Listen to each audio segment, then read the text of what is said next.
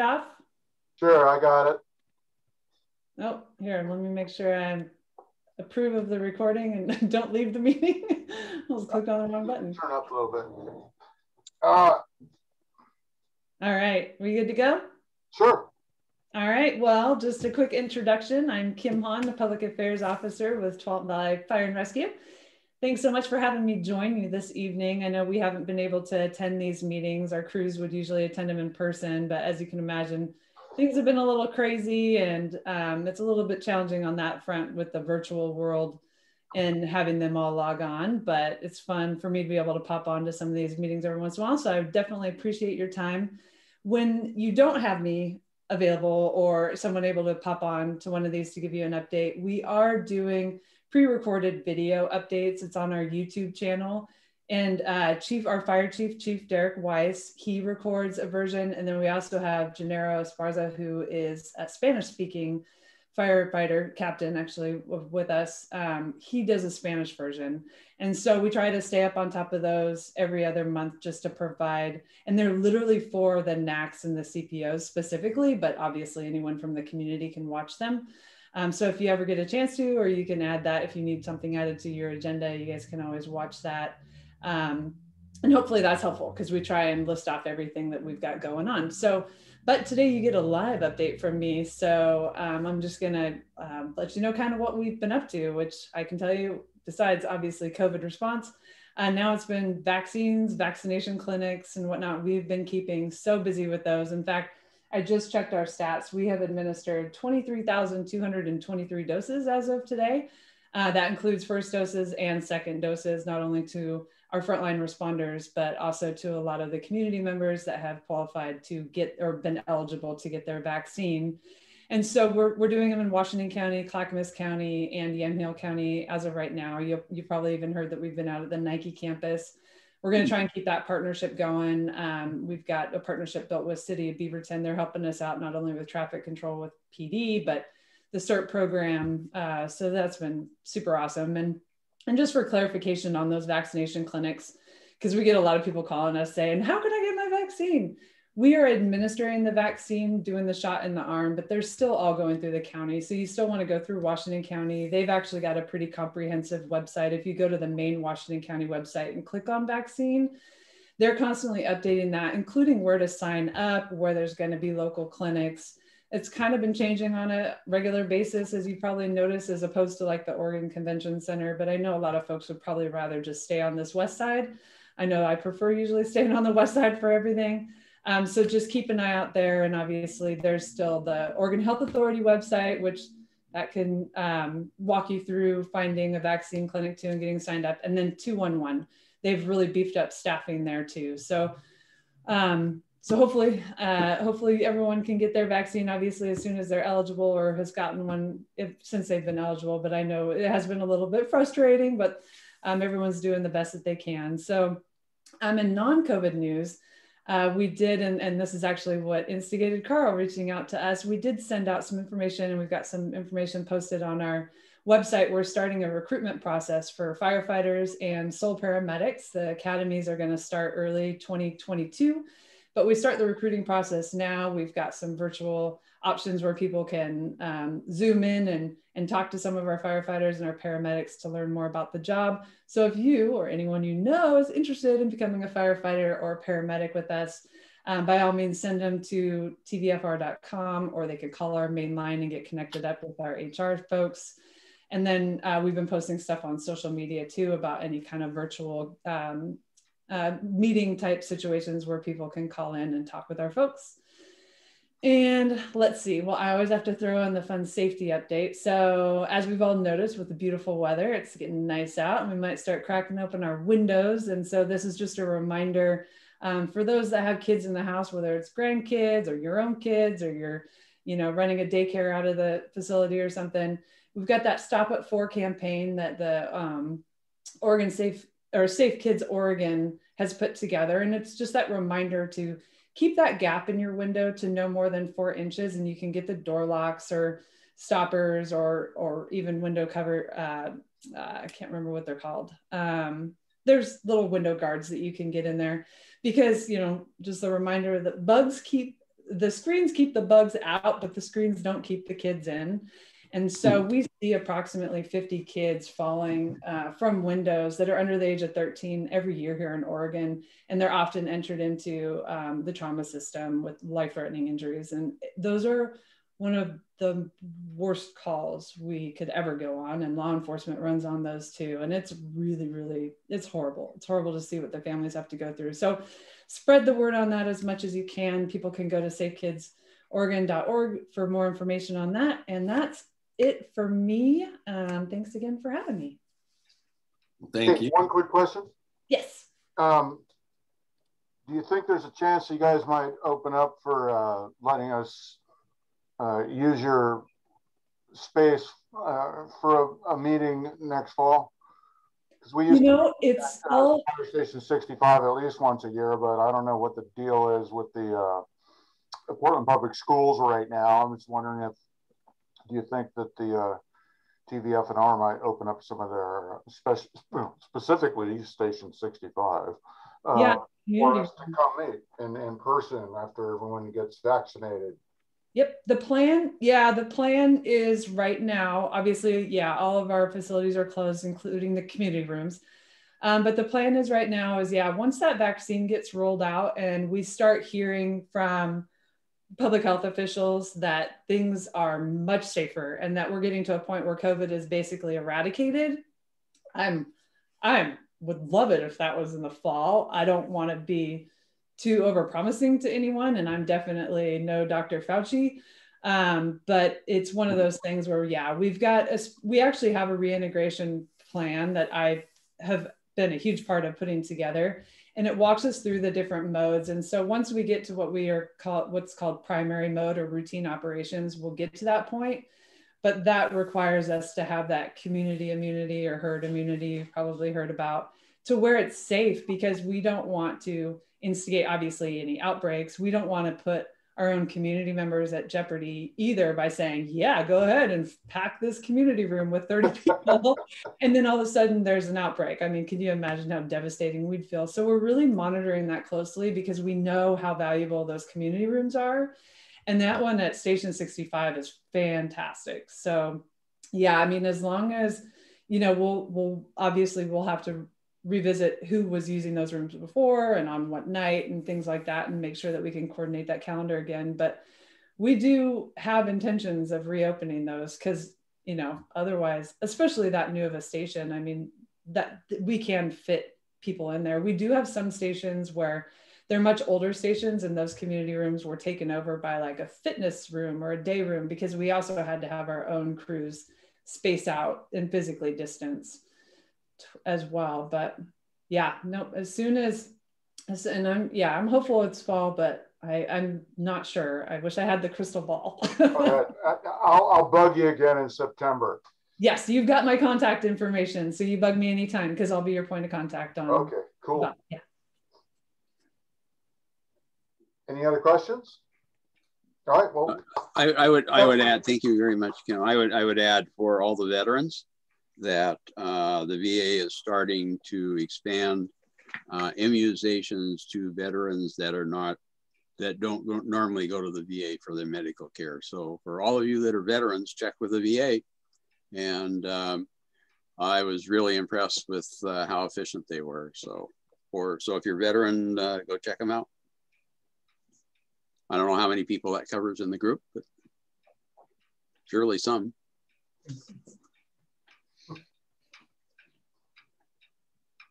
Okay. Well, like once again, thank you, Kim.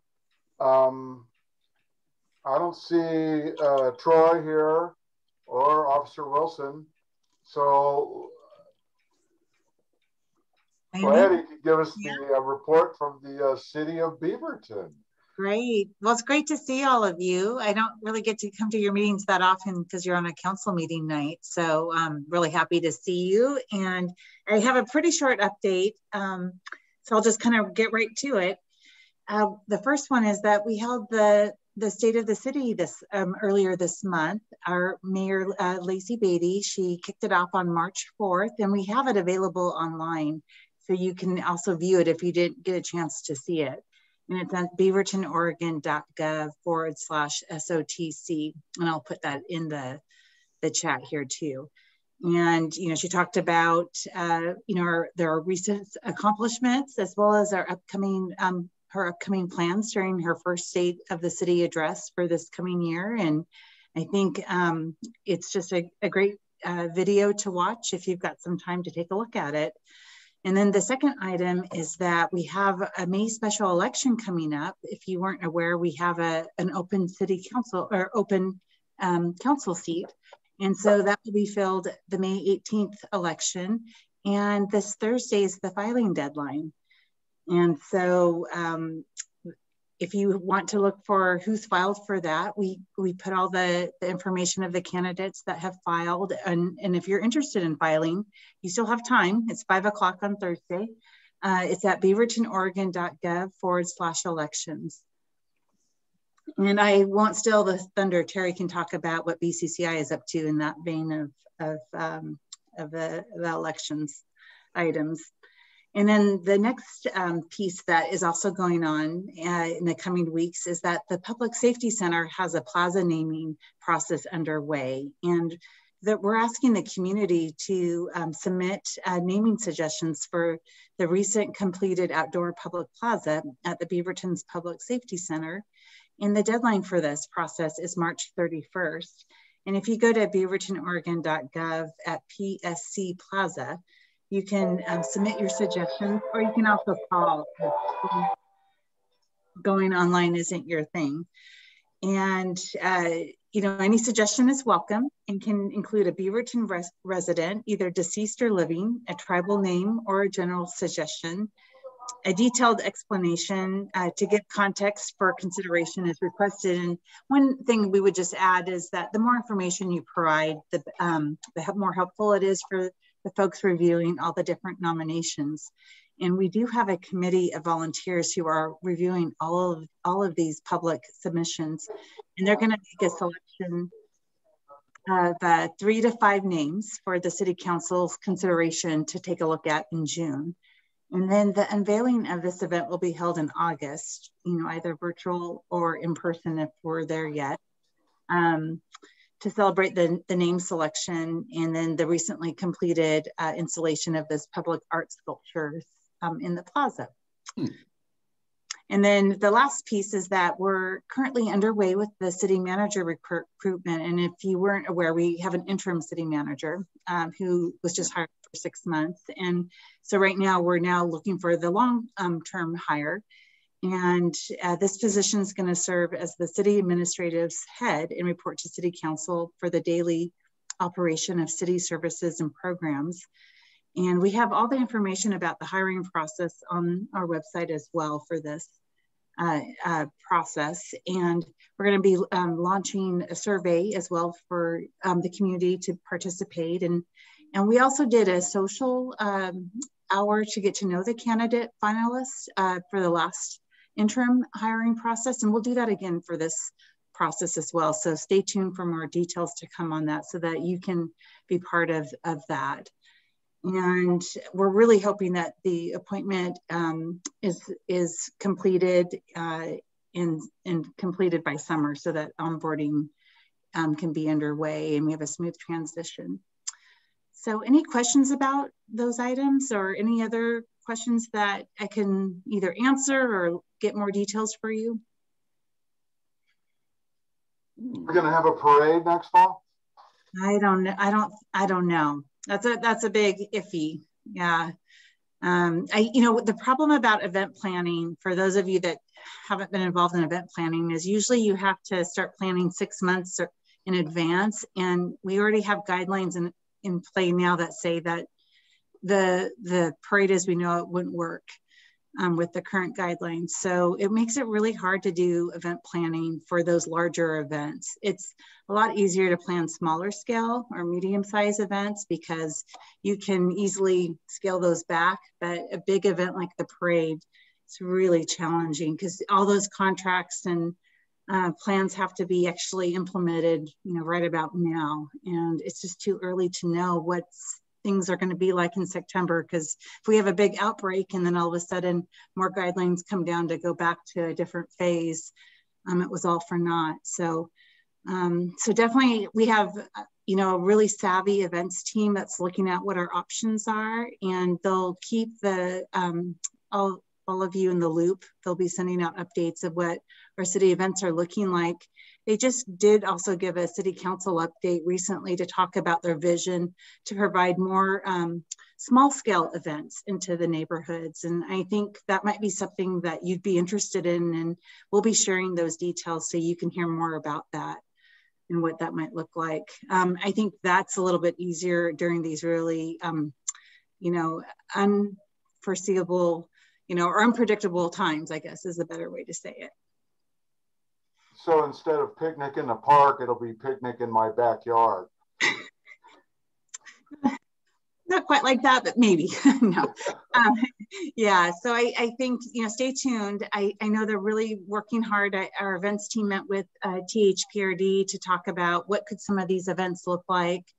Um, and so they're reimagining what what could this be that could bring some we know it's really helpful to have um, things to look forward to to get people out of the house but we want to keep things safe um, and do our part so uh, uh, so I, I, can't wait to share more details as they get firmed up, but um, they still are percolating and lots of meetings behind um, behind the scenes are going um, on right now.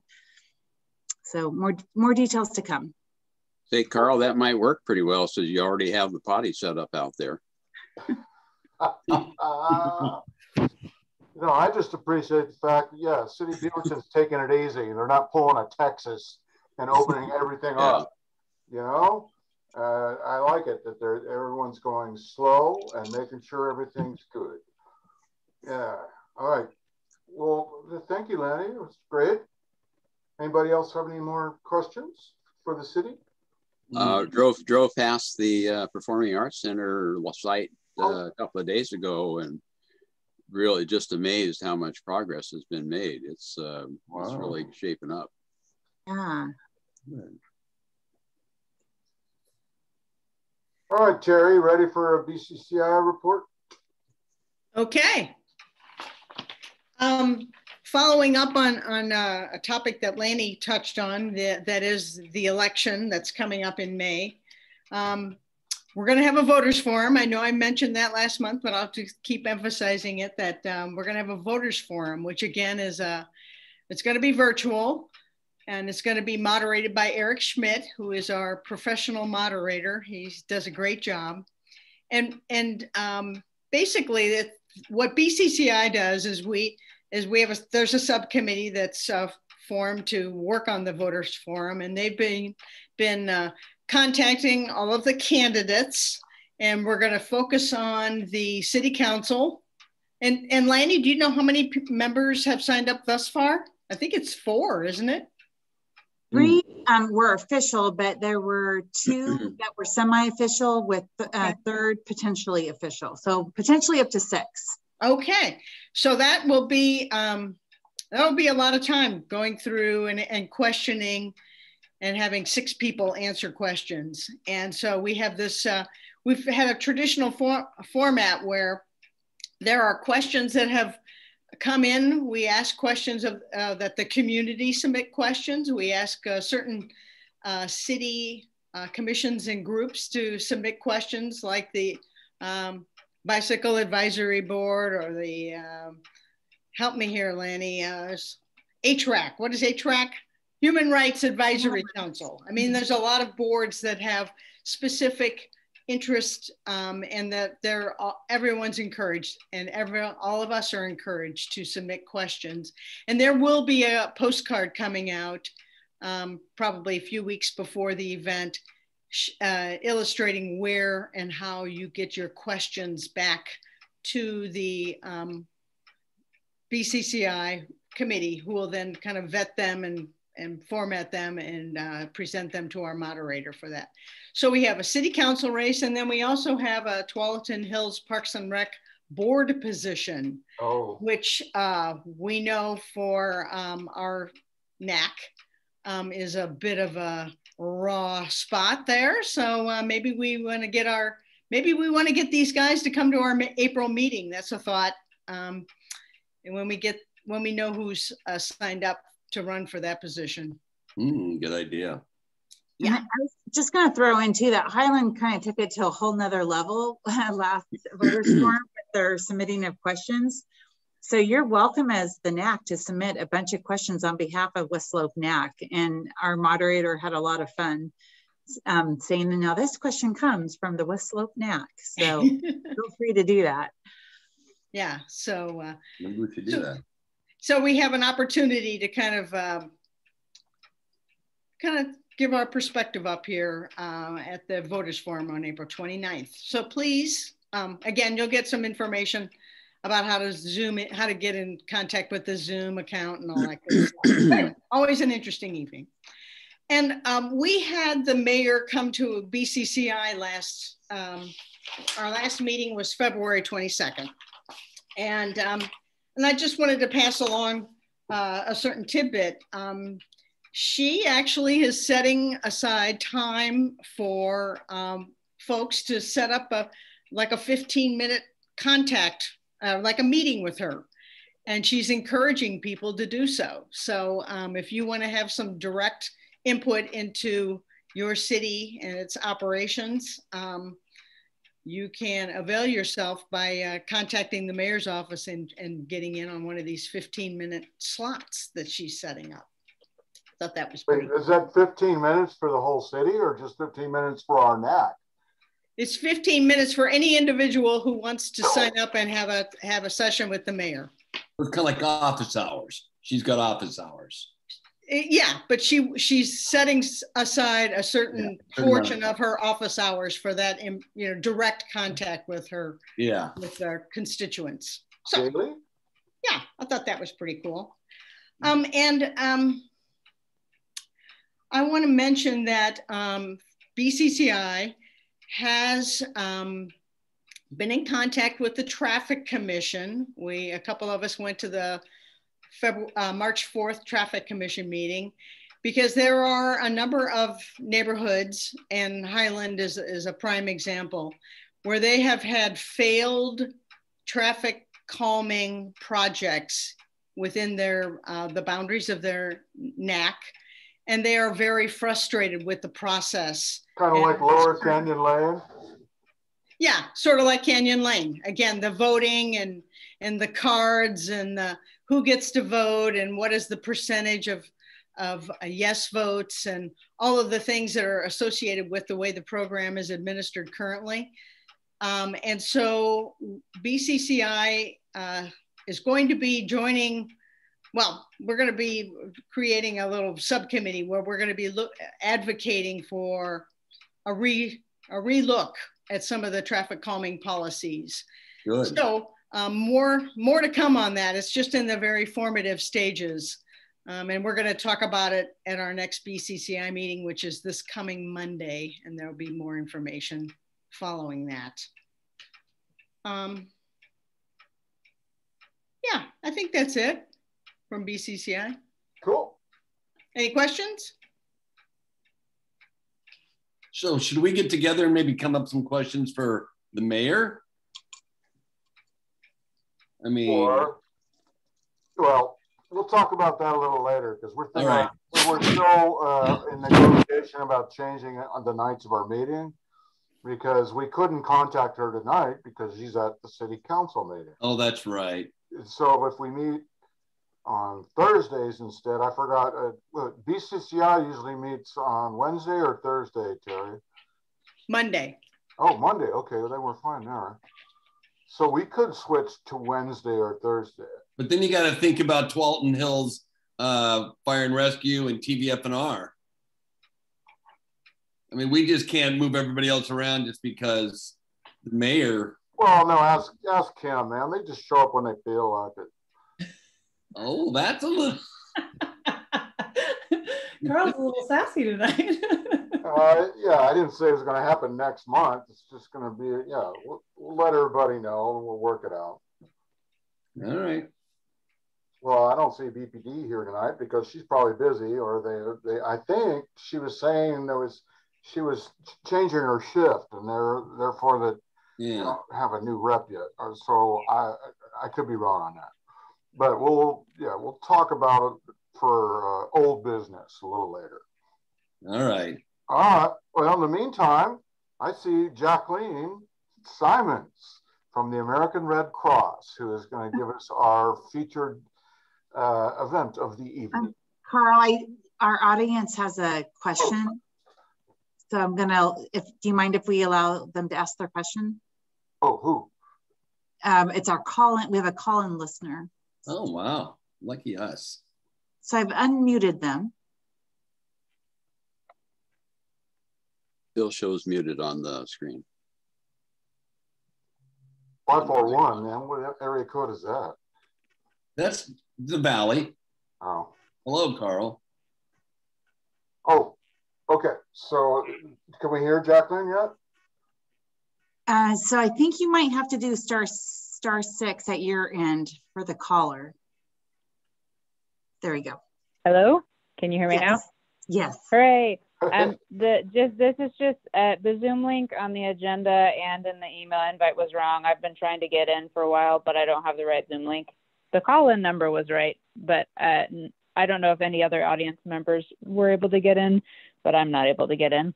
Mm. Oh no, I'm sorry about that. That would have been a problem at our end. Apologies.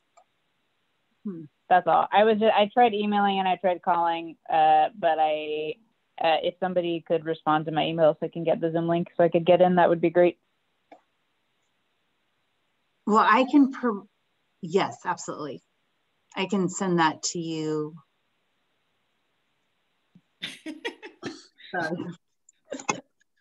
that is all. Okay. Um, I sent the email to the neighborhood mail at Beaverton Oregon.gov. Okay, I'll um, be doing that right now. So um, look for that in a few minutes. Cool. Any idea how I mute myself again? Is it star six again? Try star six again. Um, I actually I can do it from here, so I just did it. Yeah, you can do it.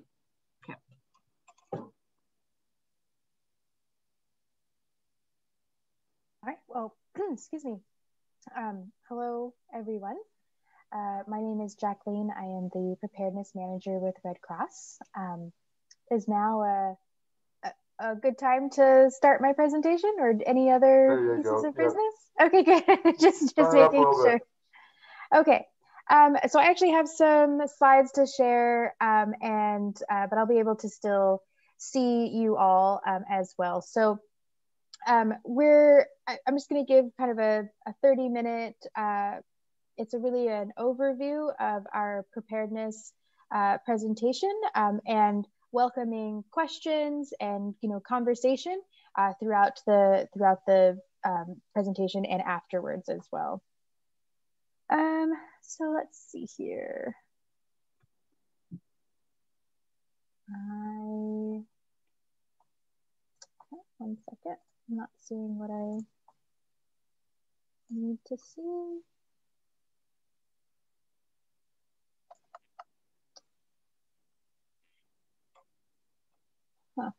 Are you in the jungle? No. Okay. So uh, my background, it's it. It's, people think it looks tropical. It's actually France, um, which is decidedly not super tropical. Um, but but yes, I love the the flowers. Oh, here we are. Hmm. Okay, so you should uh, you should be able to see my PowerPoint. I said, and I can perfect. I can see you guys nodding. Perfect. Um, so really, uh, we like to kind of set a set a um, context here, right, of why it's important to talk about disasters, or uh, you know, in in the first place. Um, and the fact is really that disasters uh, happen, right? They happen often. They happen with little or no warning. They can happen anywhere and really at any time. Um, and so, our kind of working uh, definition of a disaster is if a uh, the normal response systems are overwhelmed, if people are hurt, or if property is damaged or destroyed. And it's really you know up to us, uh, you, me, us, to be ready. Um, a lot of people assume that someone else will be there to help, um, right? And I, I see Kim here from TVF&R, which is awesome. Um, but you know, first responders, disaster organizations, government agencies, hospital emergency rooms, right? They do their best, um, but resources just aren't there to support everyone immediately after um, an emergency or, or, during a disaster. Because um, really, on average, right, these groups are staffed and prepared for normal day-to-day operations, and resources just really could be limited during during a disaster. And so the truth is, right, we're going to have to depend on ourselves first. Um, and a couple of those reasons why are, you know, the roads may be impassable, utilities may be unavailable, right? Mm-hmm. Hospitals, first responders could or will be overwhelmed. Um, you know, banks, grocery stores, gas stations, pharmacies, right? The things that we take for granted that we could just run a quick errand to, they may be closed for days, um, maybe even weeks at a time, depending on how large the emergency is. Um, so the bottom line is really that we uh, we can't uh, count on receiving help right away. And so each of us can uh, prepare to help ourselves and our households. And will preparation be perfect? No. Uh, will preparation make things quick, easy, or absolutely painless all the time? Not always. Uh, but planning and preparation will help us all to be safe and recover uh, more quickly uh, in the event of an emergency. So when we're prepared, we can take protective actions to be safe, right? If we know what those are ahead of time, we can react in the right ways, adapt to tough challenges, and recover quickly uh, from difficulties. And really, when we think about, you know, what does it take to be prepared, uh, we break it down into three steps. Uh, to be informed, right? It's important that you're informed about what our local hazards are um, you know, learn the hazards we may face, uh, how you will get information if a disaster occurs, and what resources are available in your community. And this will allow you to quickly respond and to help yourself, your household, and your community. Uh, we want to look at making a plan. So identifying the steps you'll take to respond to disasters, um, you know, decide who in your household will do what, where you will go, how you will communicate with each other. And then finally, that third step of building a kit. And your kit should contain the supplies you will need at home um, or can easily carry with you if you've uh, been asked uh, to evacuate. So we're going to start with the being informed section and talk a little bit about our hazards. So question for you guys, and you guys can just jump in. Which of these hazards do you think we face here in the Pacific Northwest? Not flood. Not, not flood? No. We all live on a hill. Oh, we do, yeah. Okay. That volcano, that's a definite. Oh, you know, Mount St. Helens. Yeah. Yeah. Not since 1980. Okay. Uh, yeah, our neighboring state is the proud owner of the only volcanic uh, response, national response in the lower 48. so we get we're we're proud of that in this region, right? yeah. Makes us famous. What else do you think we face here? Oh, yeah, we definitely face thunderstorms. We just had one yesterday. Uh, landslide, definitely a, available around here. Winter storm, of course. Right, just had one of those. Extreme heat for us is 85 degrees. Yes. So, Carl, you actually um, you, you're touching on something, right? So, this is the answer, right? Everything except a traditional hurricane but you know to carl's point right some of these things are relative right? Our winter storm looks different than you know maybe a nor'easter from the northeast but it still affects our community um, and it's our definition of a, of a disaster right? Extreme heat you're right we're you know it gets over 90 and we're in trouble right? Some of our community members are in trouble. And um, so you know our tornadoes that we have in this uh, state in this region not regularly and they're relatively small but they do they cause property damage they cause you know bodily harm we had that large one uh, several well large for us right several years ago in Aumsville Oregon uh, people oh, yeah. you know people perished in that right uh, we had the tornado out in Tillamook County that destroyed some some buildings so it's all relative, but they're, you know, they're emergencies to us. Um, and we like to just point out uh, whenever, whenever we get a group together um, that a home fire is actually the number one emergency of, of any of them. And sometimes people don't really consider that, right? When we think of disasters, we think of those big, impactful things like earthquakes and wildfires where they're going to affect a whole community. Um, and yes, right, those are important to think of. And we'll continue to kind of think of that when we talk about making a plan and building a kit. But a home fire is by far the most common, frequent emergency. You are much more likely to experience a home fire than really anything else. And as a nation, more people are injured and die in home fires each year than all of the other uh, emergencies combined in any given year. So we'd like to just point that out um, just to bring some attention to that because sometimes that kind of emergency kind of flies under the radar uh, because it affects one family, uh, maybe multiple families if it's an apartment building or something like that. But uh, that's always kind of top of mind for us. I see Kim nodding her head because, right, Red Cross, fire departments, we work we work closely together, um, so we know. Uh, and in this region, Red Cross responds to about two home fires a day. Um, on average, and that's what, who we respond to, right? We know that there's more fires happening, um, and and folks just aren't, um, you know, calling us for assistance, and so yeah, that's that's a that's a lot when we put it all together. Um, but so good job, everyone. Pretty much got all the answers to that. Um, so also when we think about being informed, right, it's not just about it's not just about uh, knowing our hazards, right, but identifying how we will get information. Um, you know, are we, uh, do we have a radio, right? Carl, you said you had one of those. That's great. Uh, does the radio, you know, is it crank radio? Is it a solar radio? Is it battery powered, right? How are we going to get information? Um, you may um, download different apps for your smartphone, which is great. Um, but it's also important to have that backup that doesn't rely on internet um, in case like, so there is a kind of a larger scale emergency. Um, understanding weather alerts are all things that we need to be aware of as well. The uh, watch versus a warning, right? A, a, winter storm watch versus a winter storm warning. Um, the uh, fire evacuation levels for like a wildfire um, understanding what level one, level two, level three means. Um, and for watch versus warning, I, I love the cupcake metaphor. Has anyone heard the cupcake metaphor? So you can have a cupcake watch and a cupcake warning. So cupcake watch, you've got all the ingredients, they're sitting on your counter. It could, a cupcake could happen. It could, right? a cupcake warning, it is in the oven. Like there will be a cupcake. I like that. In a, in mere moments, right?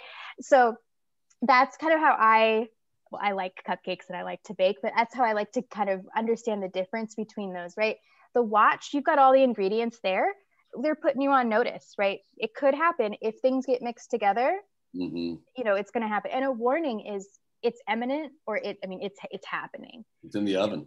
It's in the oven. That's right. Um, and so like i said when we understand those different watches and warnings and evacuation levels we can follow the instructions that authorities tell us right if we're being asked to evacuate we understand that that's what they're asking us to do right um, if there's a you know a it'd be weird here but if we had a tornado warning right we would know that you know okay that means that you know it's happening now like we need to take action right versus just being aware that there could be you know something happening if it was a watch. Um, knowing your neighbors is a great way to um, take that you know take that step to understand what their needs are um, how you can help them how they can help you who are these people? Um, so that if like the, the i love presenting to neighborhood associations because you guys kind of lean this way anyways of being interested in knowing who your neighbors are mm-hmm. and and communicating with each other right? Um, and then knowing what to do when you're traveling. That's another part about being informed. Um, i often share the story that a couple years ago i found myself in nashville tennessee um, beautiful city had a great time but while i was there they had a tornado warning I am I'm born and bred in Portland. I did not I did not know what to do with that. Right. I was like, I'm come again. Like, how do I keep myself safe? Right. I had lots of questions. I didn't even know it was tornado season when I went there. Um, and so these are things that you know we can we can do ahead of time. And you know, we will be traveling for fun again soon if we're traveling to different parts of the country uh, different parts of the world, right? Understanding what maybe some of those different hazards are and uh, knowing ahead of time, you know, how we can keep ourselves and if we're with people, right, how do we can keep ourselves safe. Um, so that's kind of our, our first section about just kind of being informed, um, knowing your hazards, uh, you know, taking some of those steps ahead of time uh, to learn like your watches and warnings and, and um, things like that. And so our second part, really, when we're talking about making a plan, um, we, you know, there's several kind of things to consider, right? There's the likely disasters, right? So, like I said, the most frequent emergency would be a home fire, um, but our potentially most impactful emergency would be something like, you know, what we saw this last fall with a wildfire, right? That that affected a large uh, group, a, large, you know, multiple communities. Um, our earthquake risk also, you know, that's going to impact our entire region. Um, and so when you kind of think about how you want to prepare for things, right, you can think about what's most likely to happen, or if you're prepared for the earthquake, you're prepared for a lot of other potential emergencies because that's the most impactful one. Um, so, you know, considering um, if someone in your household uh, travels or is away from home, maybe they're in the military, right? They're away for long periods of time. Um, you know, how how will you all work together as a team, um, and how will you kind of plan if they're going to be you know away for for a while, right? That plan if they're here and plan if they're away, um, and then individuals with access and functional needs will need to prepare a bit differently um, so we encourage people to create a personal support network that can help plan and provide assistance if a disaster happens. And remember, you know, not to depend on just one person, but we really like to um, recommend at least a minimum of three people within that network. Mm. Completing a personal assessment of functional abilities and possible needs during and after a disaster situation, and making sure that you're practicing these disaster plans uh, with your personal support network at least twice a year. Um, and that's, you know, that's with a focus and a lens of, of uh, folks with access and functional needs, but I think it's an applicable um, thought process for really anyone, right? Uh, creating that personal support network um, is, is important. And then don't forget to think about what you'll do with your pets. Um, and so, and service animals, right? So most American Red Cross shelters uh, cannot accept pets because of health and safety concerns and other considerations, but service animals are always allowed in Red Cross shelters. Mm-hmm. So I'll ask you guys this what are the two federally recognized service animals? There's one in the picture. Dog. Yeah, dog. What's the other one? Very cool dog. What was that?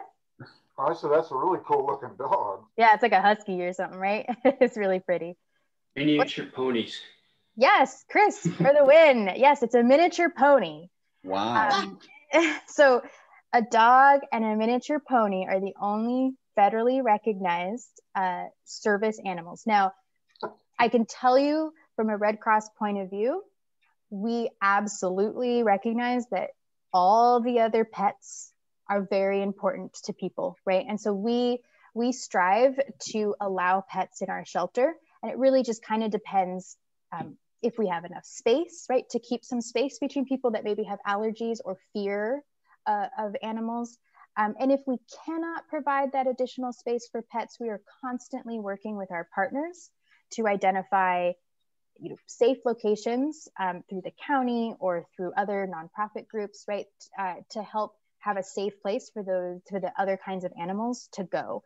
Um, so animals is top priority because uh, we understand everyone, you know, everyone's pets are very important to them. Um, we had a kangaroo, I kid you not, we had a kangaroo at a shelter out in Goldendale, Washington, out the gorge, that was not allowed into the shelter. We had to we had to draw the line there. it stayed in the car. But you know, people come up with all kind and we we want to be able to accommodate as as as much as we can, uh, you know, people's pets. So uh, we want to you know plan plan for for those guys too. And then when we're thinking about some of the details the, that we want to include, right? Um, questions around how to evacuate, um, identifying evacuation routes, right? Not just out of your home, like in the event of a home fire, you want to kind of know where your exits are. But if you needed to evacuate your neighborhood, how would you? What some what are some options and where would they take you, right? Um, where would you meet? Uh, do you have a meeting spot in your neighborhood and maybe you have a meeting spot outside your neighborhood like if if you were outside your neighborhood and couldn't come back in where would you you know potentially meet some people in your household or friends or family members? Where will you stay if you need to evacuate? And when, when we're talking about planning in some of these conversations there's not necessarily a right or wrong answer. It's the the important thing is having the conversation right? So where will you stay if you need to evacuate?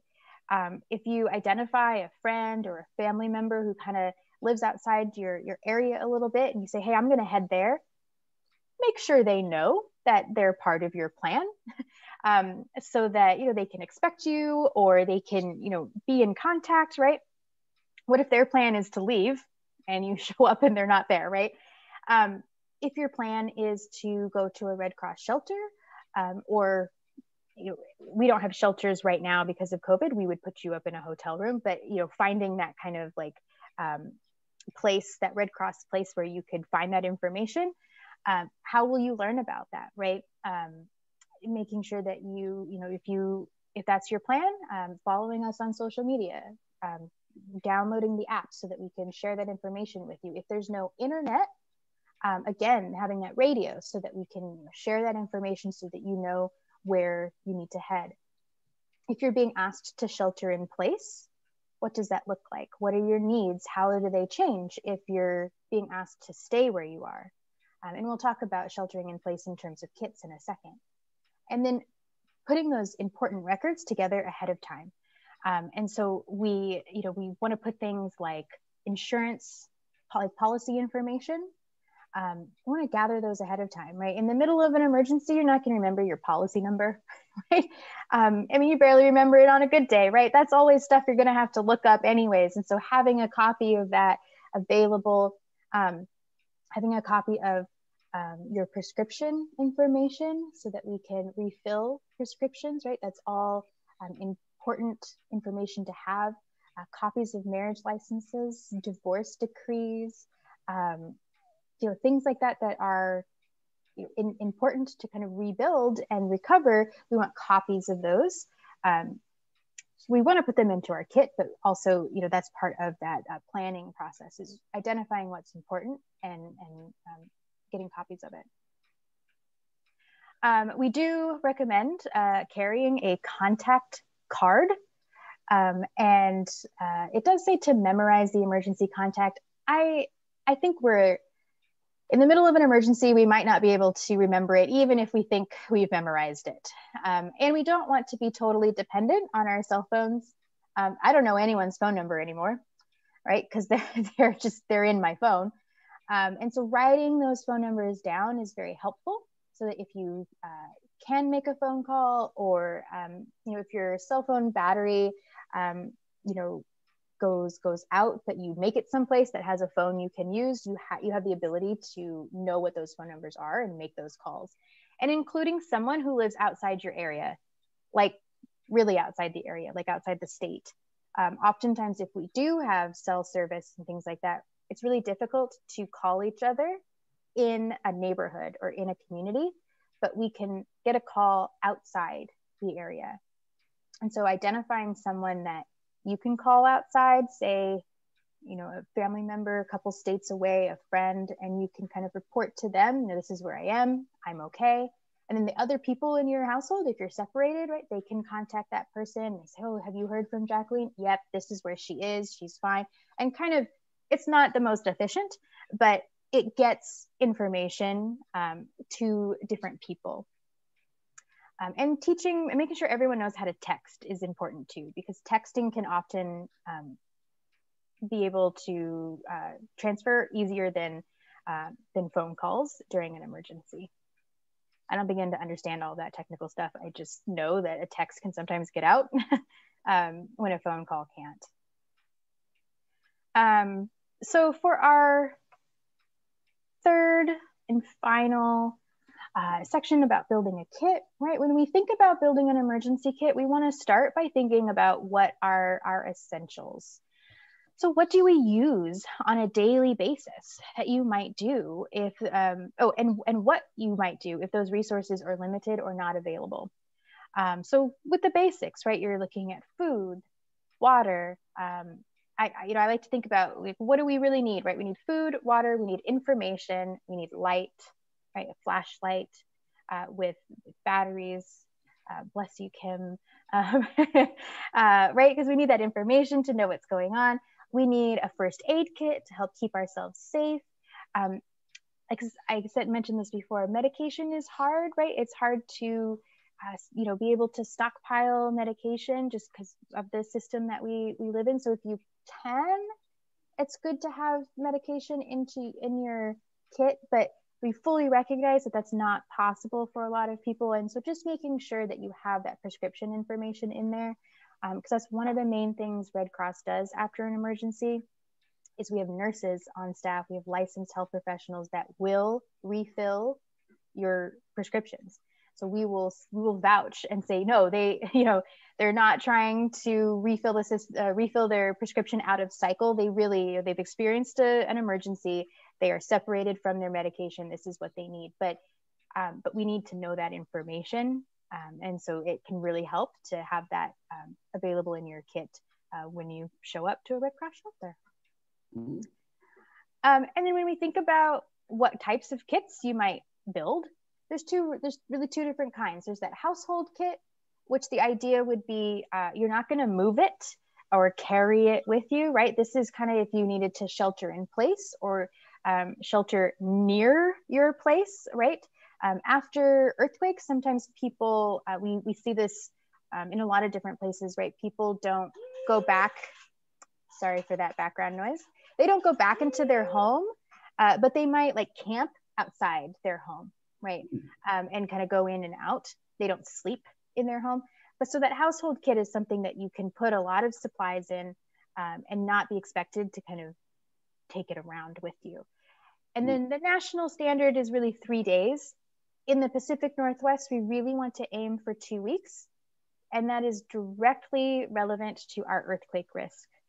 So it's about two weeks uh, after we experience our earthquake uh, for outside help to come in. That's the estimate um, from like people like FEMA and things. So any any bit is better than none, and we kind of want to strive towards that that two weeks worth of supplies. And then our go bag is like the backpack or duffel bag or, you know, little luggage to go uh, bag, which really is, you know, if we need to evacuate quickly. Um, and we are looking for, you know, something that you can reasonably carry. Um, and and so three days worth of supplies thereabouts. Um, if you're stronger, right, you can put a little more in there, but uh, it's it's that real kind of mobile version, and the expectation really is that you can carry it, and and off you go. And then when we, when we talk about customizing our kit, right, we've talked about, you know, based on health or medical needs. Um, but again, pets and service animals, right? If you need water, they need water, right? Um, right, they, they need all the same things you do. And we want to put something in our kit that brings us comfort as well and can occupy us, right? Um, if we're away from home, no electricity, uh, you know, no, no internet, if we're in an unfamiliar kind of Red Cross shelter situation, um, shelters can get a little boring. And so having something in there that, you know, not only brings us comfort, but we can do. So playing cards, uh, books, uh, journals, or if you like to draw, write sketch pads, things like that, uh, little games, um, things that don't take electricity. Uh, you can have family photos in there, right? For, for something that brings comfort to you um, a stuffed animal, a pillow, right? Something that's kind of cozy um, to, you know, help you feel better because it, it will be an emergency and we will be, you know, not having the best day of our life. Um, and so, you know, putting a, your favorite snack in there, right? Um, just to be like, yeah, this is a little treat, um, you know, while we're while we're trying to get through something. Um, so I like to just encourage people to kind of customize it so that they they have things that they enjoy. And then since you're you never know where you will be when an emergency happens, um, if you spend a lot of time at work, it might behoove you to you know have a small kit at work in case um, you needed to evacuate work and head home. Um, so we're looking at things like appropriate walking shoes, some some food and water. It's not going to be the end all be all kit, but uh, you know what would happen if you were at work and you were told you know that you needed to go home um, and then having a kit in your car can be another good place to start as well um, not only are you know if we have cars they're usually close to us no matter kind of where you are. Mm-hmm. if, you're home the car's home. If you're at the grocery store the car's in the parking lot right? Um, and so it can be kind of a good central place to put a kit. Um, it also works really well for things like winter storms um, where if you find yourself on the side of the road or you know in a, a, large traffic jam where you know you're just not going anywhere for a while having some supplies in your car is is super helpful that way. It helps you keep warm some snacks some water. Again we're not talking you know a huge kit but um and there's no kind of right or wrong answer too when we think about okay where we're going to start with building a kit. You know what makes the most sense for you your family the people that you live with? Um, you know if you drive a lot you know your car may be the right place to start. If you're home a lot you know start with that home kit um, it, it kind of just depends on on individual situations so finally as we finish up here uh, we have some tools that we recommend uh, right is that there's that emergency contact card um, and I can actually put a link in the chat uh, to a card that you guys can download if you want. Um, and then we have some free Red Cross apps. Um, the exclamation mark is a, an emergency app, which has lots of good preparedness information, but it also is like um, if we needed to share where shelter locations were, uh, they you could find that uh, through the emergency app. And then the Band Aid is the uh, first aid app, and both of them are free. Um, and the the first aid, right? If you found yourself, you know, needing a little bit of uh, direction um, in how to do various first aid things, you know, it could you can pull up and kind of find those steps there. It it doesn't replace getting certified in in first aid, CPR, or things like that, but it can be a useful tool um, if you if you are so inclined to download those. Hmm. And then, you know, our kind of challenge to kind of everyone that we we talk to, right? Uh, you've taken the first step, right? Kind of thinking about what disasters are most likely in your area. Um, you know, we want to encourage everyone uh, to have a disaster plan and practice using it. If you have one, update it, right? Situations change. Um, people change, their needs change. And then we want everyone, like I said, to have that uh, preparedness kit. And it's a process when you make your kit, right? It's not, there's not an expectation to you know, go out in one day and just get your kit done. Um, you know, there's, you can start with some things that are around your house. Um, I'll also share in the chat after this um, a link to our prepare guide, um, which has a really great list in there about uh, how you how you can kind of start breaking down some of the things in your kit and kind of taking it week by week, month by mm. month. Um, and then we do encourage people, like I said, to to get trained in first aid and CPR um, and AED. Um, the Red Cross is still offering uh, certification classes. Uh, there's a lot of training that happens online, and then when you are in the classroom, it is all uh, fewer people and all socially distanced and um, a lot of COVID precautions to keep everyone safe. Um, and it's also, you know, something to think of in the future if uh, if that is still kind of unnerving to to go into a classroom. But uh, we we just we recommend that's an important important skill for people to have. So that is the end of my presentation. Um, I'm going to stop sharing so that I can see you all better. And I saw Carl, you already had your hand up. yeah, I was going to ask about uh, CPR training. Hasn't that changed in the last five years or so? It used to be when I first got trained a long time ago, it was heart compressions and breathing alternate. Now I think they're discouraging the uh, heart compressions or vice versa. I forget. Um, I, I'll probably defer this to Kim because she's probably way more. yeah. Yeah. So now we've gone to compression only. So no more mouth to mouth. A lot of people don't want to go mouth to mouth with a stranger, anyways, and especially during COVID times. But this has been research has found that as an adult, you have eight to 10 minutes worth of oxygen still circulating in your system through your blood. And so all we need you to do to buy us time is to just pump their heart by doing the chest compressions, um, middle of the chest. And that's the way the training goes with either the Red Cross or, you know, might be TVF&R down the road. You know, they might do a seminar or something. So that's the way, yeah, okay. Yeah, that it, depends on your level of training. The, the I just I just did one, and we were for our um, for our level, we will still we were still doing the breathing as well as the compressions. But for the very the most basic level, it's just just compressions. Yep. Yep. Yeah. And the certified trainings that they put on with Red Cross or Cascade or anything like that, they'll get you into like the infant CPR, things like that, where you do want to do breaths. But overall, when it's an adult, which is typically what you might find, you know, out in a public setting collapsing, then it's just the chest compressions if they're unresponsive. Kim, are, do you know if they're including AED training in all all levels? Yes, yes, because I know we'll do the AED training out because we don't do the certified training. We leave that up to Red Cross and Cascade. But yeah, everyone does the AED yep, at all levels. Yeah, I know that's always included um, with Red Cross classes. Yes the infant is always an option, um, but AED is never an option. It's all or is always an option. yep. Um, so I put a couple of uh, links into the chat box. So the, the first link is to our prepare guide. I see you, Lani. And the second one is to our um, emergency contact card, if you so wish. Uh, but yeah, what was your question? I noticed that Isha has a question or hand is up.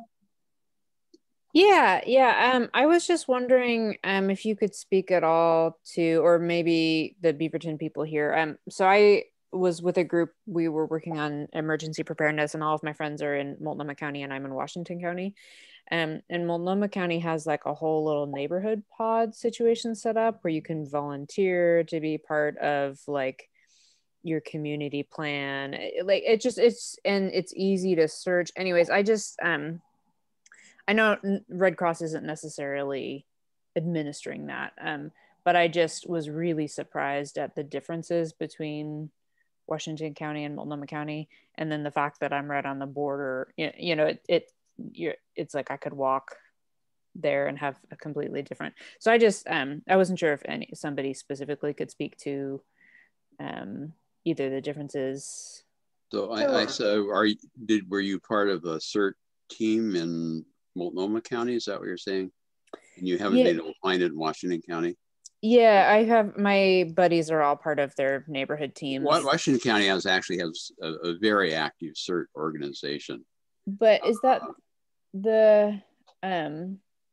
Where do you find information? Because you could uh, on their website on the Beaverton City website.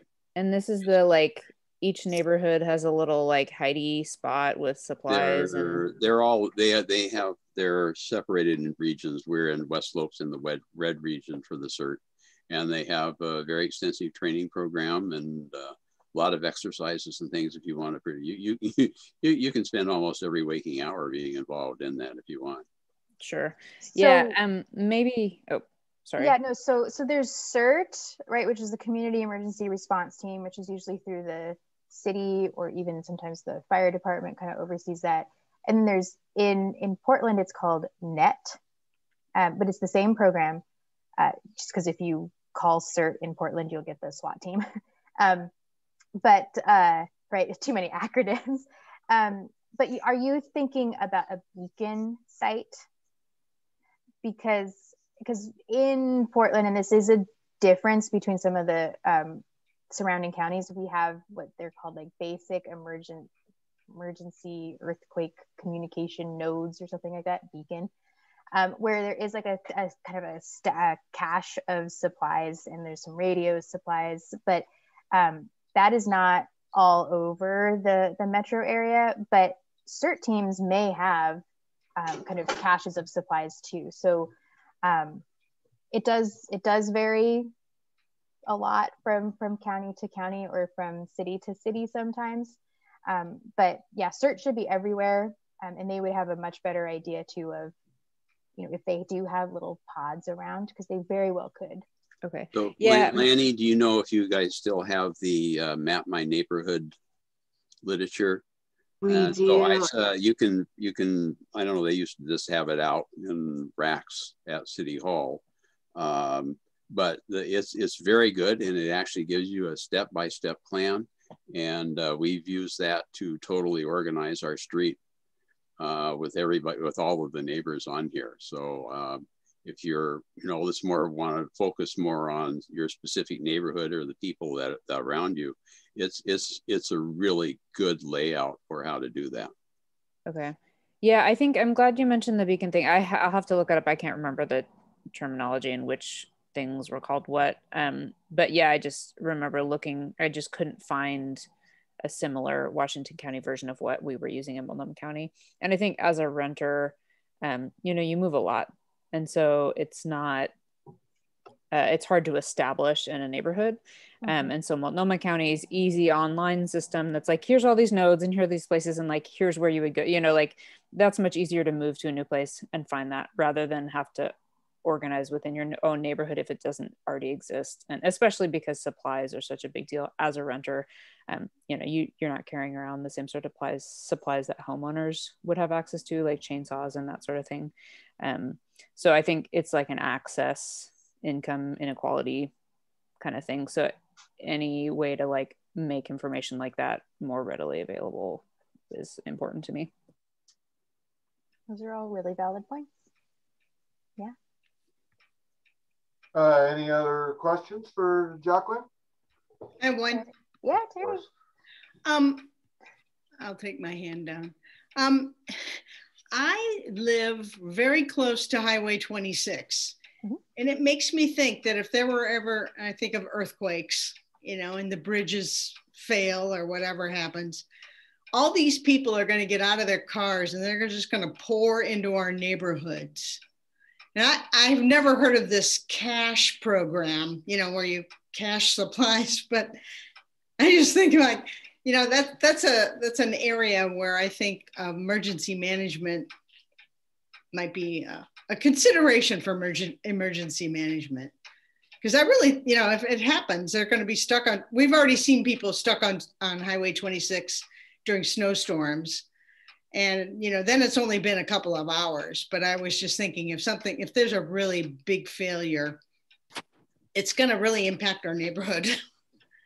And i think it's we're indicative of a of many neighborhoods around mm-hmm. where we have a major highway. Yeah, I was just tens of thousands exactly of the opposite, man. We're all going to bail through all those doors going through the sound wall and get out on the highway and then head over to the cemetery where no one's going to be bothered the people at the cemetery aren't going to care and that's where you go bail and get everything uh, get you know get everything together and try to get a signal you know for your your phone. But yeah what yeah i mean if the big one does hit there's not going to be anybody on the road. You can go right through the there's doors every you know 100 yards through the sound wall. We're out on the highway not the other way around. No one's want to come in here uh, I mean, to, to Terry's point, yeah, I mean, there's the, we never know when that earthquake's going to happen, right? The, the best case scenario is it happens in the middle of the night. Um, and that would allow less people to be on the road, but it, it, right, those people could very well get out of their cars and start looking for something. Um, the the cache program that is in like the Portland specific, they try and utilize kind of the natural meeting areas, right? And so you know, no one's no one's pulling up to anyone's home, but you know, the the parks um, and the kind of public spaces, right? That's where people, that's where we think people will um, you know congregate right so they yeah they might leave their their vehicles and and but they're going to be looking for those kinds of places that lend themselves to that um, and so i mean i think it's worth uh, you know advocating on behalf of your neighborhood with the, the county or something like that to kind of see what the what they're thinking about in terms of something like that. Uh, but you know like i don't think there's just going to be like people going through your neighborhood but they're going to be going to those kinds of natural areas where people congregate. So. Okay yeah. That's what we think at least right? I mean human nature direct them that way. Yeah. We'll direct them to the west sylvan school. Not I mean, yeah schools are are not a bad place to direct folks right? It's a neighborhood gathering place. People know what's there. The you know our our first responders know where they are and and you know they're familiar with the buildings and things like that. So yeah schools aren't aren't terrible so.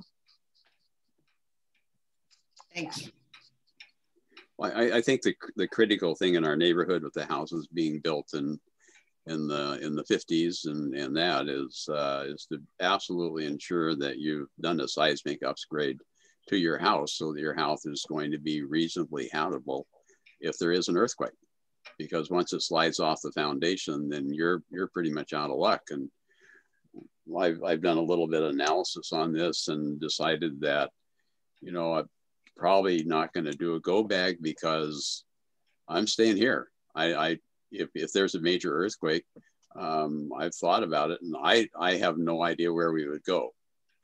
So I think so, we're better off when we're, we're able to hang out here probably a couple months. Um, and so that's what we're going to do. But that's for the earthquake, right? Yeah. I mean, we, we learned this year that fire got closer to our urban areas than ever before. Yeah, I think, I think, I think from my experience on being on a hotshot crew, um, I'm not worried well, you know forest fire coming through here. Carl may worry about it because he has he has a huge woodlot in his backyard there. But uh, but even but I think where I am right here, I'm soil stays okay. wet year round, man. even you know our our ice storm, right? Folks were were out of power for so long that they were leaving their home. Uh, so go bags are good for things like that, right? It's it's not a you know it's not a every emergency will solve you know be solved with a with a go bag, but um, you know there it serves its purpose for for different for different emergencies. And and it's up to anyone it's up to you know, individuals to kind of decide where they what they want to do and what they want to focus on. But i wouldn't discount a go bag just because your plan is to stay you know where you well, are I can I can I, I have a backpack or two so I could put one together if I needed to but I I think from my evaluation of and I I've taught wilderness survival and for the military and and for my company and uh, we're we're this is you know it's going to be fortress on Walnut Lane pretty much uh, you know unless it's destroyed. we're all going to go to Joe's house. yeah. Um, next to a cemetery. Your your lack of preparation may not constitute uh, benevolence or a feeling of crisis on my part. So Ooh. keep that in mind. All right. Hey, on that happy note, we need to move on. And uh, yeah, we got other things to handle tonight. Um, I, uh, once again, I'd like to thank uh, Jacleen for doing a great job. Thank you very much. Cool. Thank you. Thank you for yeah, thank you for having me. It was nice to meet you all, and I hope you have a lovely evening. Okay, so while we have a quorum before somebody leaves, oh that. Okay, Chris, one, two, three. Okay, yeah, we got it. All right. Um, the ladies at the uh, Eden Gardens want some more money this year. They're extorting us, man. They're gonna let it. Oh, See you later. Thank you, Kim. You did a great job. Thank you. You're wonderful. Um, so yeah, I got an email from from them from Michelle. Uh, no, not Michelle Wilson. I forget. Oh, Bauman. Um, so yeah, I think we're gonna have to approve. They haven't given me a, a bill yet. I think we gave them like 200 bucks last year, which is more than they wanted, and so they uh, they shouldn't need any more seeds. I think they just need more dirt. So if it comes up and they fit, hey, where are you going, Ken? I need your vote on this. I'm just gonna get my power. I'm running out of power. Hey, Carl, can you back up? Can you back up a little bit on your explanation? I don't know what Eden Gardens is or, or what, what you're, you're asking for. What's that? Can, can you just give me a little background? I'm not sure oh, what oh. you're talking about. Oh, this is that little garden plot down there across from the uh, Canyon Grill at the bottom of the hill, bottom of Canyon, Canyon Lane, Lane in, in Canyon. And uh, okay, uh, okay. A, a, ladies gardening group that uh, has been taking care of that for many years. And uh, last year we gave them some money to, in order to get some more dirt and some some fresh plants. And uh, now they're uh, asking for some more. And but they haven't given me you know an amount, so we'll have to think about that between now and the next next meeting. But we definitely have it in the uh, treasury. Do we know how much we have in the treasury? Uh, I think it's like 2,200 bucks, something like that. If our treasurer was here, we'd have a definitive answer. Uh, Where is he anyway?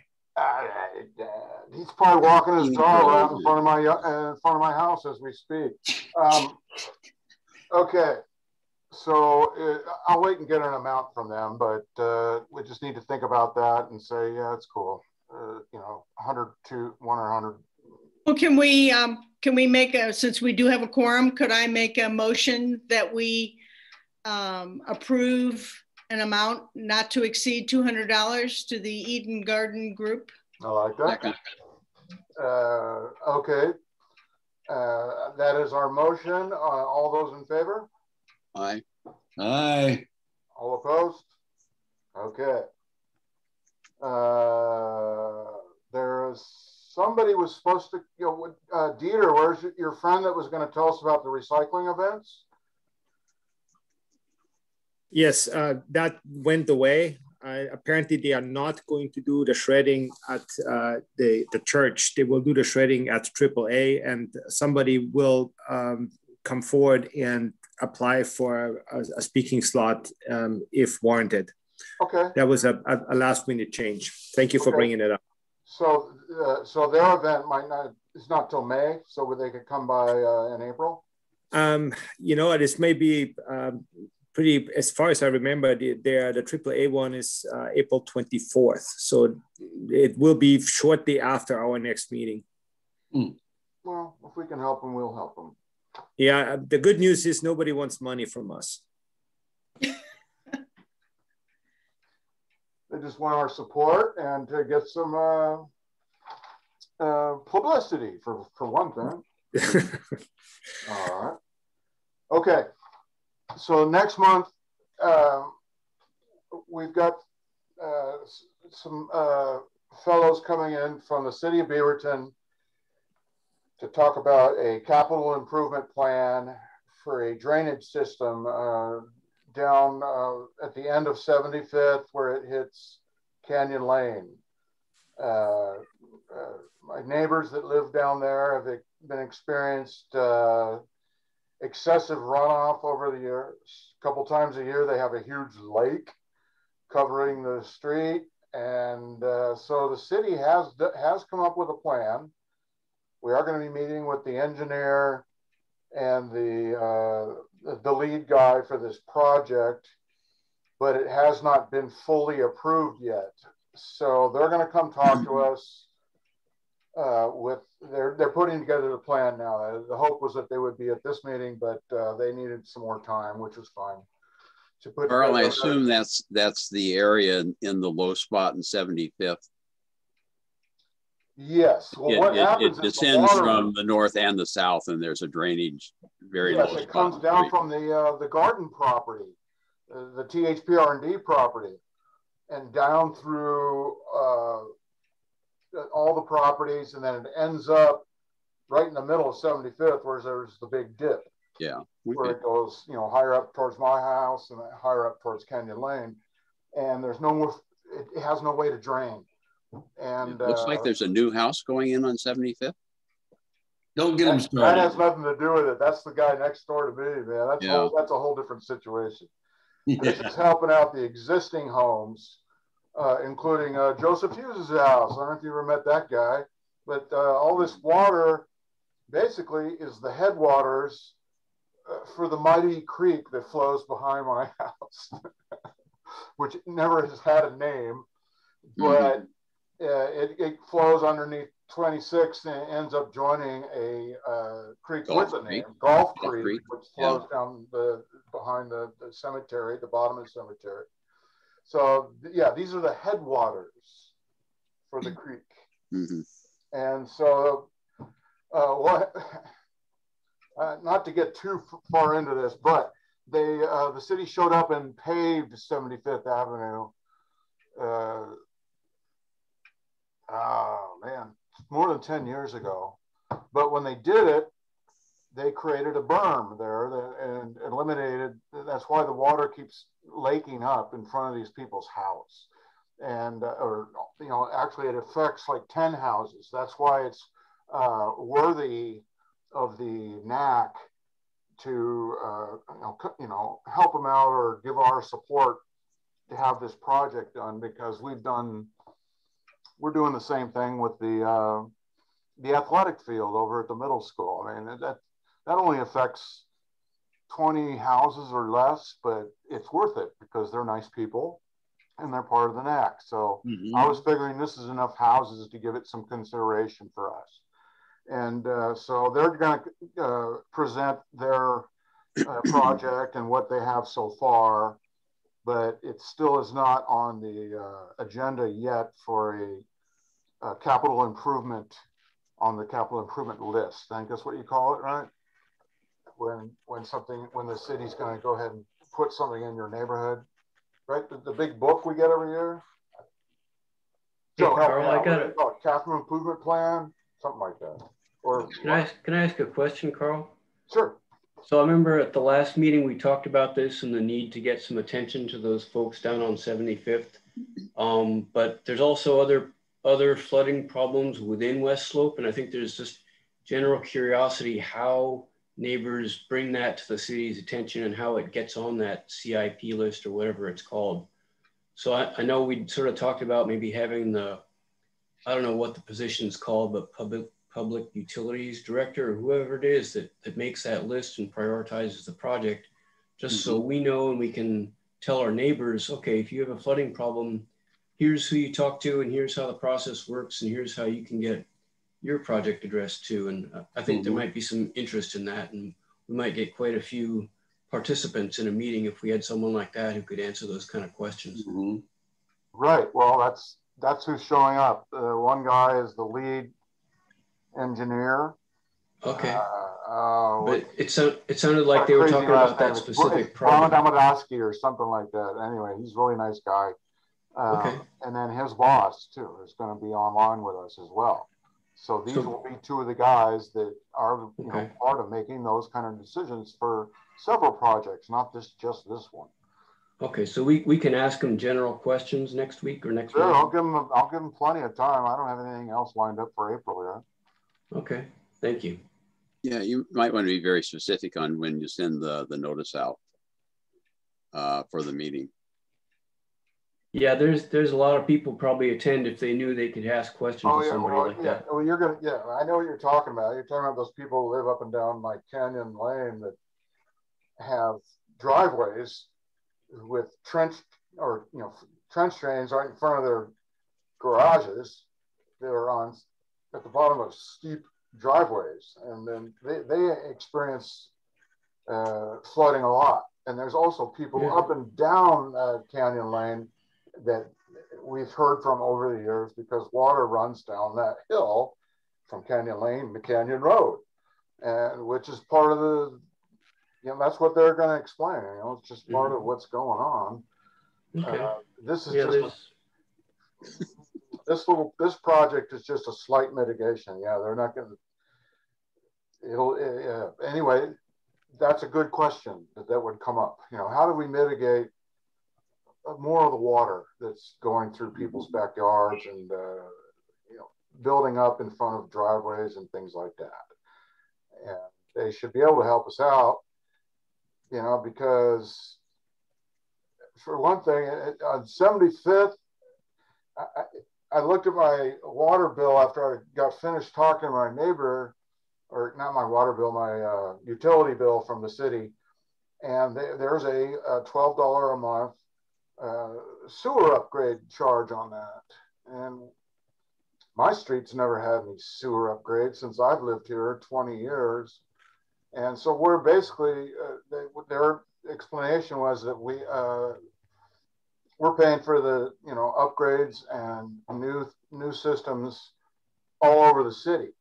So if you live in Beaverton, everybody gets dinged the same amount on their utility bill, regardless if you ever if you've ever had any upgrades or if you need them whatsoever, you're still paying for that maintenance.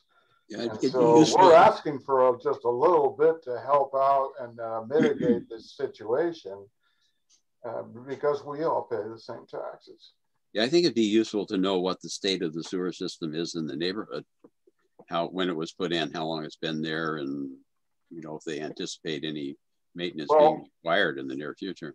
I remember when I first uh, uh, started coming into your meetings, Joe, was they had Canyon Lane totally torn up. They they redid well, they, that whole sewer system up, right down the middle. But there, but right? uh, I was just thinking about my house specifically because it runs down between, you know, it's not in the street. It actually runs down between the uh, on the along the property line between all the houses here on Walnut Lane and, and Canyon Lane. And I have I know nothing's been done to it, and I just wonder how old it is and when do they think they might have to do something? Well, that's well, you know, for instance, that house you're talking about that's right next to me, they could only get uh, they're only going, you know, single family residence, one story. Uh, actually, it's probably going to be two stories, but the second story is going to be going down towards the creek, mm-hmm. whereas the first story is going to be level with the street. Um, and uh, yeah, they they they wanted to split the lot and put in two houses, but the, the sewer system won't support it. Uh. Yeah. And that's why they got denied. And they, and now the guy's just building one that he's going to probably sell for the same amount that uh, that guy sold that one over on uh, West Slope. Uh, what, what is it, Westview Lane or whatever, for a million five. And uh, yeah, I haven't walked past that last time. So it's probably been two months since I would have been by. It was va- still vacant at that point. Really? but yeah. they did build it. Yeah, it's it's it hasn't sold.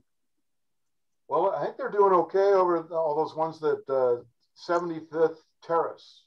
That BG made. Those started yeah, a million. I, I, think those seem to be selling pretty well. Yeah, yeah, that's uh, Rand. Uh, wait, wait a minute, Mike. BG. Yes, Mike BG. Nice guy. Yeah. Anyway, he's probably even nicer now. He's selling all his houses.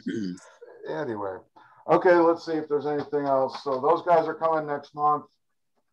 Talk about capital improvement. Uh, ladies need funding. Uh, the recycling event is now put off until late April. So we'll hear from those people again. Okay. And, and then, um, do you see it in the comments? That Isha is, is um, happy to give an update on the window contest. Yeah, I want to hear about this. Cool. Um, yeah, so we, uh, the window contest uh, came and went. Um, we had, so I personally walked around about 280 um, slips of paper around, and so 280 houses were canvassed um, with an invite, and then the Facebook uh, invites went out and Nextdoor and such. Um, the library did promote us, um, but I think it's tough. Anyways, I think a lot more promotion could have happened, um, but that's a tough time for those sorts of things. Anyways, we had eight uh, houses register and participate. Um, and the winners were the three houses that had children involved, of course. Mm-hmm. Um, and a couple of them were really cute. So I thought I would put, I'm gonna just put together like a picture thank you that's like thank you to everybody who participated with some of the pictures and stuff um, as well as some of the flowers that we found in people's yards as i was going around um, taking pictures. And um, yeah so i just have to still um, send out thank you cards and um, i uh, need to touch base with miles to get finish getting the gift cards but i would say it was very successful um, eight out of 280 is actually a pretty good number for like a complete cold call participation system. So um, yeah, I'm really happy and I'm grateful for the sport. And I hope that um, I had my stuff in. I live on Canyon Road, so I had my stuff like as a banner in front of my yard, um, and I hope that was visible, and I hope people saw it. And I'm planning on taking it down. But yeah, I had fun, and I hope other folks uh, got a chance to see that too. Well done. Woohoo! Great job. I like the next contest is going to be garden gnomes.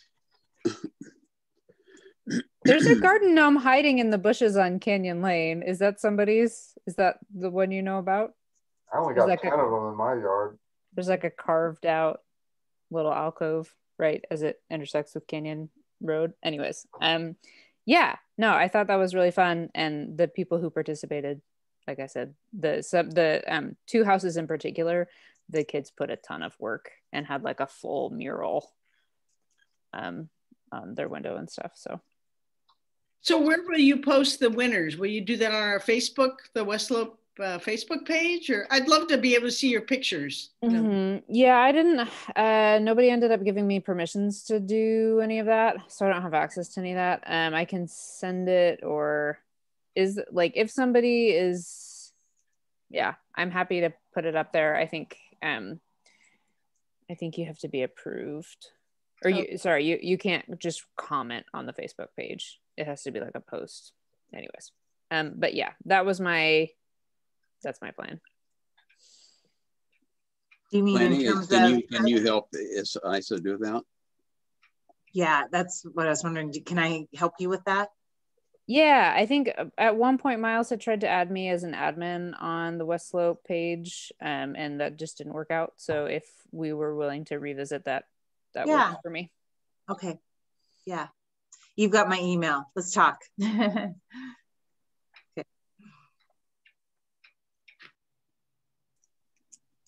All right. Any other old business? Any other new business? Um, not specifically related to the NAC, but um, I'm uh, now one of the uh, House District Leader, Democratic Party House District Leaders for House District 34.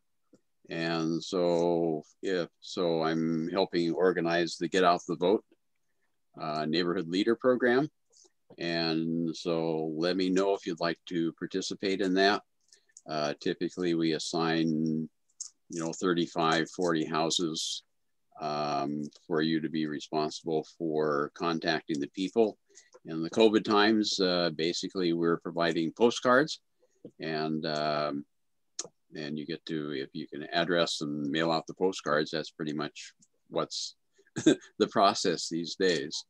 But um, it's it's been pretty successful for the, the people we've been working with. We get 90, 95 to 100% participation for people voting. So if you'd like to do it in your neighborhood, uh, let me know and we can get you set up.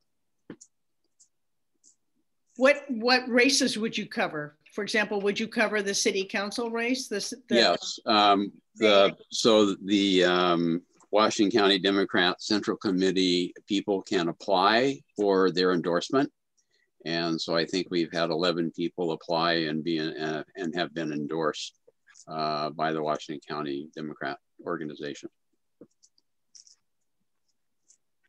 And that's for school boards and you know anything in Washington County, basically. What about city council?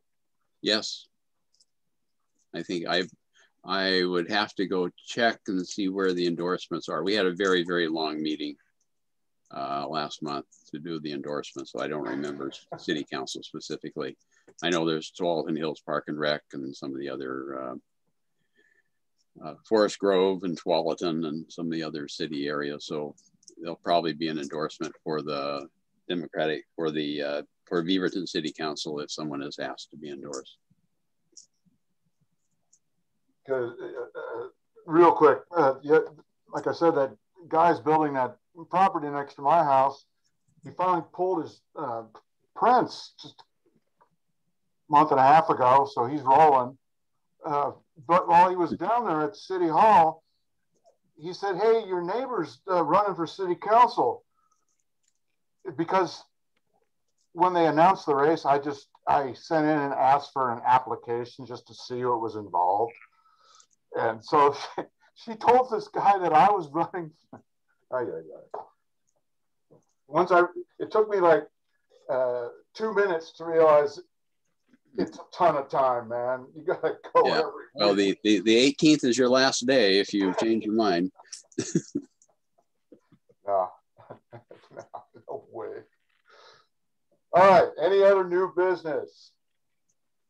Okay. Uh, I move that we adjourn this meeting. Uh, do I have uh, ayes? Aye. Aye. And I'm not voting. Lani?